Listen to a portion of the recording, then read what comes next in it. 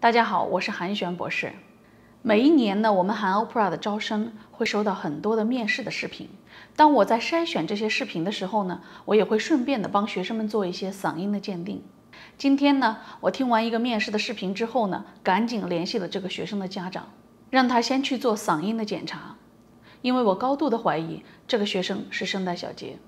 这样的事情每一年在我们韩 Opera 的面试过程当中都会发生。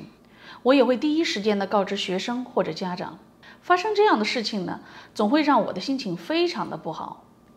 因为我觉得这种情况往往是可以避免的，尤其是发生在青少年儿童的身上。你们知道，孩子的嗓音是非常娇嫩的，他们的嗓音的训练也是要很专业、很细心，而我们成人的嗓音训练一定要和青少年儿童的嗓音训练。方法区分开，因为不同的嗓音条件、音域、声带的成熟程度等等都有着很大的不同。所以今天呢，我想来和大家谈一谈青少年儿童的声乐教学。你们知道为什么很多天生嗓音条件好的孩子，逐渐在成长的过程当中学习声乐之后呢，都被毁掉了？为什么很多孩子小的时候唱得很好，长大了之后却没有成为优秀的歌手呢？首先，我来说一说什么叫嗓音条件。最基本的嗓音条件呢，就是说他有着健康的嗓音，声音听起来是纯净的，音色呢是明亮清澈的。因为每一个孩子小的时候呢，他都是女高音声部。所以我们会把小男孩的声音呢给称作 boy soprano，而好的嗓音条件就是说，它不但有健康漂亮的音色，它还有宽广的音域。当然了，节奏和音准必须是它的基础学习声乐的条件。事实上，既有健康漂亮的嗓音，还有宽广音域的孩子其实并不多。大多数的孩子的音域呢，一般都是在一个八度的左右。在没有经过训练的情况下，他都不会超过两个八度的音。所以说，如果一个孩子可以轻松的达到两个八度的音域，在没有经过训练的情况下，我们就可以称他为先天的嗓音条件非常好。所以，百分之九十的孩子呢，都是普通的嗓音条件，需要后天的一些训练。嗓音条件好的孩子，那当然后天的训练就轻松很多。那么这个时期的训练呢，就非常重要了。很多人认为小孩子学唱歌嘛，随便唱唱就好了，随便找个老师教一教就很好了。只要他哎会唱两首歌，哎会唱会跳，那么就挺开心的。可是等他过几年发现孩子的声带闭合不好了，然后嗓音嘶哑了，甚至在高声区无法发出声音了，这些家长才会想到，哎，我是不是需要找一个专业的老师来给他呃教一下，正规的学一学？往往这些时候，我都会说，这些家长既浪费了金钱和时间，又错过了孩子嗓音训练的黄金时期，这也直接影响了孩子们的变声期声音的训练。所以在我们韩 Opera 每一年，我们都要面对很多嗓音已经出现问题的学生，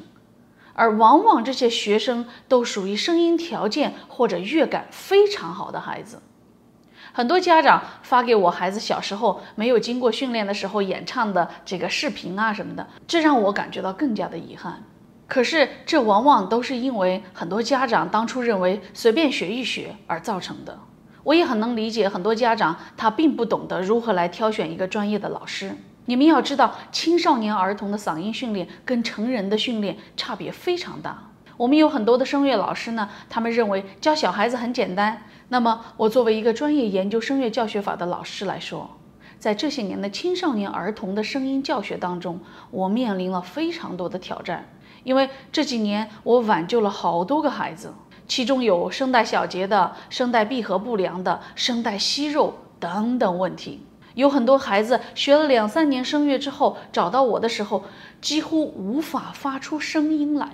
虽然这些孩子经过一些专业修复训练之后呢，嗓音几乎完全恢复正常，但是我们却无法挽回孩子失去的最漂亮、最美的童声，这是我们拿金钱所买不回来的。正如我一个家长非常后悔地说：“我现在才发现，学声乐一定要找专业的老师，千万不要因为想让孩子随便学一学，随便找个老师而花钱毁了孩子。有的时候呢，贵的就是便宜的，而便宜的才是最昂贵的。讲一个我的学生的经历哈。三年前呢，有一个小男孩的妈妈找到我，让我听一下他的孩子的嗓音到底出了什么问题。我当时一听完就告诉他，赶快去找嗓音专家检查声带，因为我第一时间判定他声带出了问题。检查之后的结果是声带小结。声带小结是什么呢？大家知道，我们的声带是两片薄膜振动产生声音的地方。而小结呢，就是长期不良的一个贴合振动，导致了不正常的摩擦，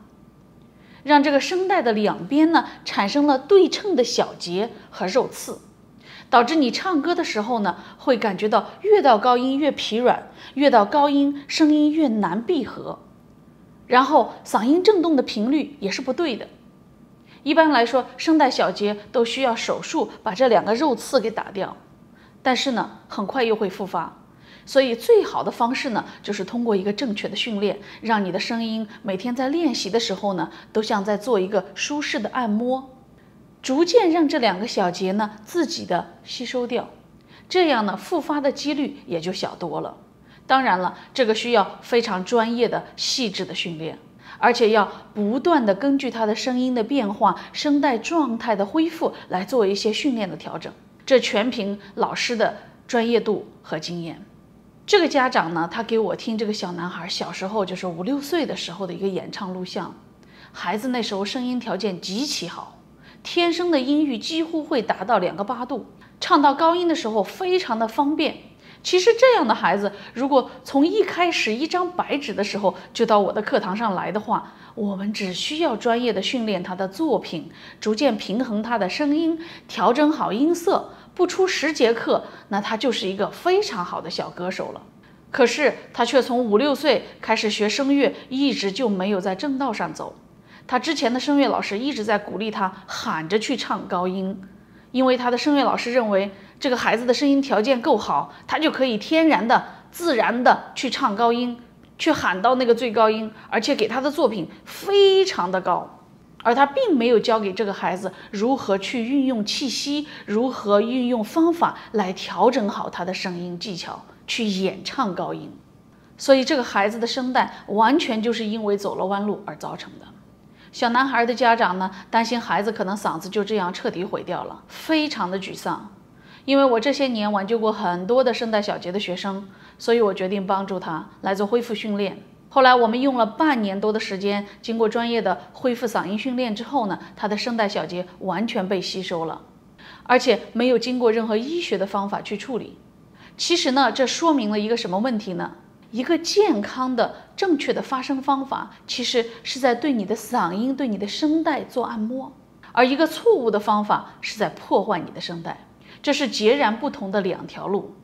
正确的和错误的，它对你的声带造成的结果是截然不同的。现在我这个学生呢，从恢复好声带之后呢，参加了国际声乐比赛，并拿了奖。去年的时候，他也顺利的度过了变声期。当然，变声期的训练又是一个非常专业的训练过程。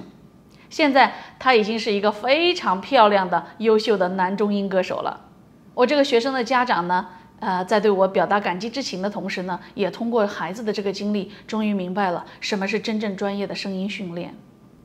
好的，今天我们就先讲到这儿，下次有空呢，和大家专门聊一聊青少年儿童学习声乐的误区。请记住，声乐是一门非常科学专业的学科，希望你们在学习的道路上少走弯路。记得点赞加关注，我是韩一璇博士，我们下次再见。